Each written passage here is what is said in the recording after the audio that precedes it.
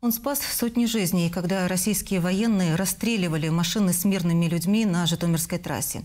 Пенсионер Владимир Николайчук проводил разведку, потом собирал желающих уехать и создавал автоколонны. Во время одного из походов мужчина нарвался на оккупантов. Они оказались белорусами. История об отважном украинце. Далее в эфире.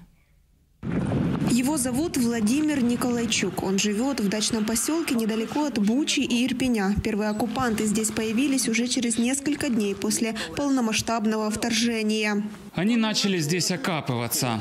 Артур и Сергей товарищи. Они понимали, что будет масштабная война, поэтому решили эвакуировать в этот поселок свои семьи. Разместились в одном доме. Считали, что здесь будет безопаснее. Никто не мог представить себе, что через Беларусь к нам зайдут и по прямой враг сюда пройдет. Артур оставил семью и уехал в Киев защищать город.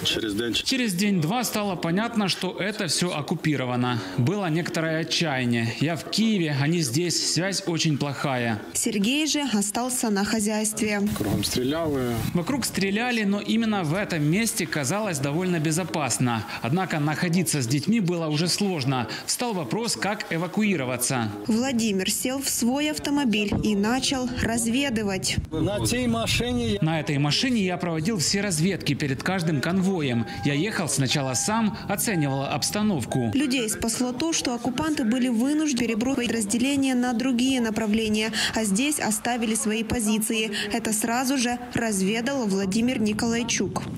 Я выбирал момент. Я выбирал момент, там есть пешеходный переход. Я добирался лесополосой к нему, вылезал наверх, наблюдал в одну сторону, брал бинокль, наблюдал в другую. В один из таких моментов мужчина стал свидетелем известной истории, снятой беспилотником, когда оккупанты расстреляли семью, мужа и жену, а их шестилетний сын вместе с крестной остались живы. Вот они на видео. В это время Артур уже ехал в сторону поселка, где у трассы его ждал Владимир. Владимир.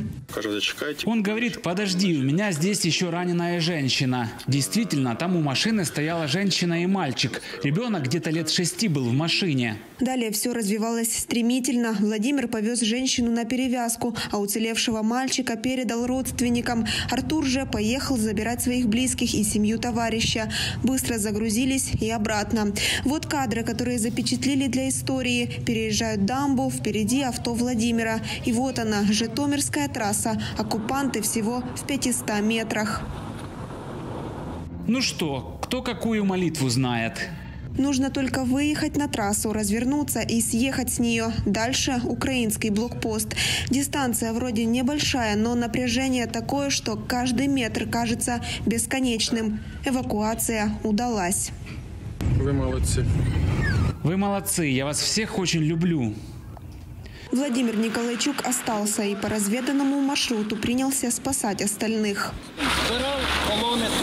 Собирал колонны здесь, приезжал, ставил свою машину, но после разведки становился впереди, за мной двигались. Кроме того, что дачники подключались, подключились Рубежевка, Буча, Ирпень. Бывало так, что больше 50 машин приходилось вести. Выбирал момент, следил, вычислял и проводил все 14 колонн. Ни одного потерпевшего у меня не было. Вот так обычный человек стал настоящим героем.